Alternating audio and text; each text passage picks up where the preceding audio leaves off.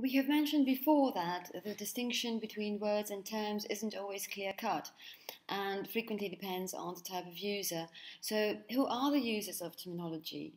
Well, in general, everyone, because as we have seen, nearly every person engages in some activity which requires a certain level of specialization. However, if we now speak about the groups of people whose professional focus revolves around terminology, uh, we can identify basically three groups. Um, well, the first are translators, uh, then, uh, of course, domain experts, and finally, people who produce or manage terminological resources and whom we call terminographers. Uh, so now let us briefly look at the common and distinctive features of these types of users in turn. Um, firstly, translators. Uh, most translators work in several domains and are, in terms of their understanding and knowledge, somewhere between a layperson and an expert. They work with terminology in at least two languages and are usually in a constant search for equivalents, but also for additional information, explanations, typical contexts, mm, and so on. Most translators work under very tight deadlines and often cannot afford the time to build systematic terminology collections for each project they translate. So they are gen- in general happiest um, if provided with easily accessible resources where they can quickly find the information they need. Uh, domain experts, on the other hand, are those who use and sometimes also create terminology as part of their professional life. In some domains, there are few systematic activities to document or unify or organize the terminology.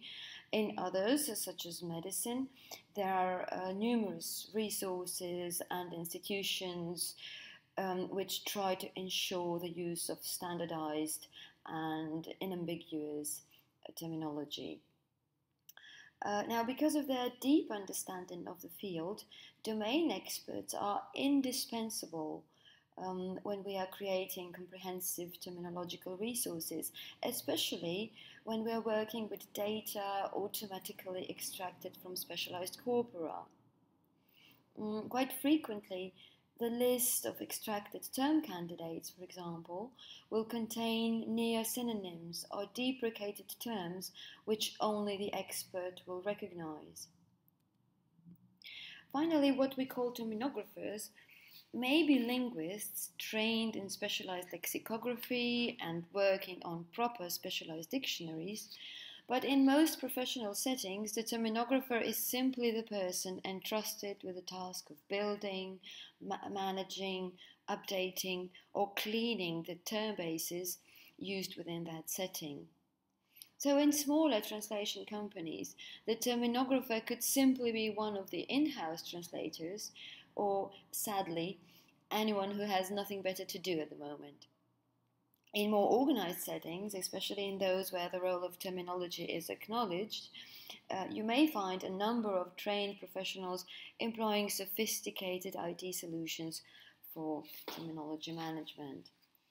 Increasingly, terminographers make use of corpora and tools for semi automatic extraction of terms, equivalents, definitions, and examples from text, which happens to be the main topic of this course.